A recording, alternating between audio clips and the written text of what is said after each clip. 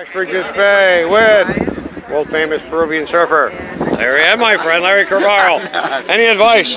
Any advice for the for all the young ones here that are They just pee in the water. you know they just never pee in the sea, bro. That attracts sharks. But they're when it's freshwater.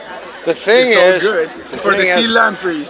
what? Like, oh no, Yeah, we got yeah, lampreys. Don't latch on to you. Yes. They'll give you a bite.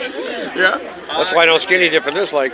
But uh, imagine? the funny thing is, this lake, Larry, is, if, and you probably know this, being a, a Great Lake surfer, is the height of summer in August. It's freezing cold.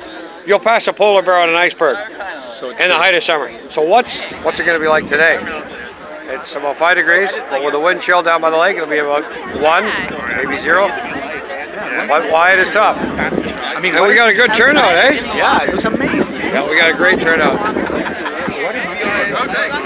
They're made by bathers. You know bathers? Great turnout here today. All these insane people. Lake Kooks. Oh, insane. Oh, there's my son William over there.